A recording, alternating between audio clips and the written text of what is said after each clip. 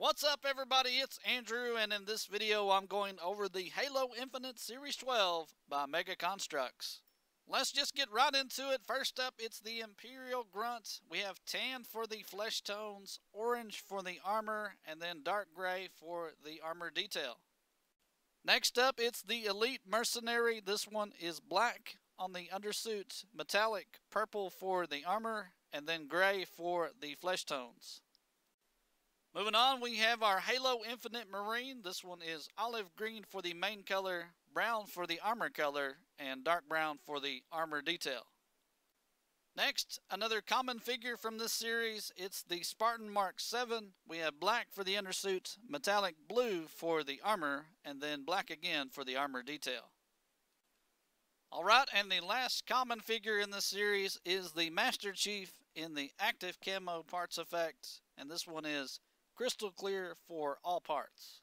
Alright, moving over to the rare figures in this series, we have the Spartan Gunganir, we have black for the undersuits, yellow for the armor, and then off-white for the armor detail. The second rare of this series is the UNSC Brohammer. This one is translucent blue for all parts.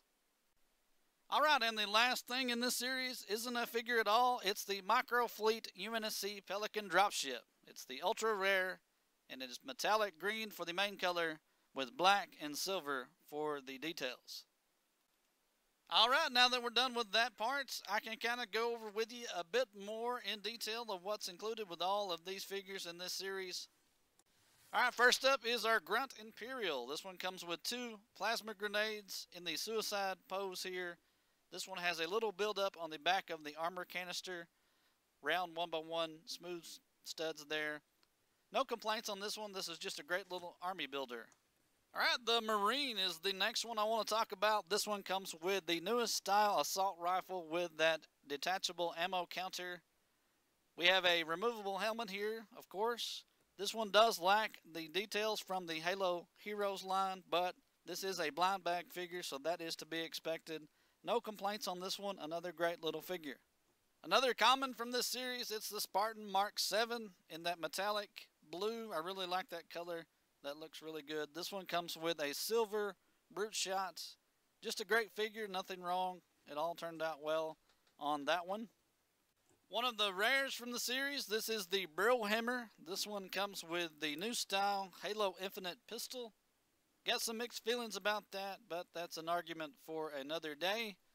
Anyway, this one is translucent blue, and the only real issue I have with it is there's some extra buildup of material around the left side of the visor on the helmet. You can see it right there.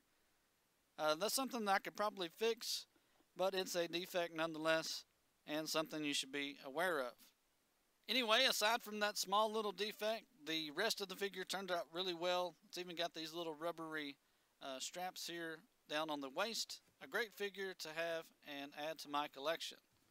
Alright, the second rare from the series is the Gunganir Spartan. And just look at how great that helmet turned out. The Halo Reach style Gunganir helmet. I really like that.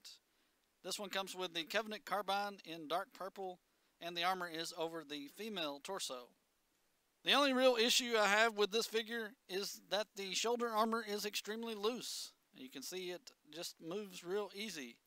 And while that's not a huge deal, I do think it's worth mentioning. Alright, back over to one of the commons from this series. It's the Active Camo Master Chief. This one comes with the battle rifle in the active camo effect.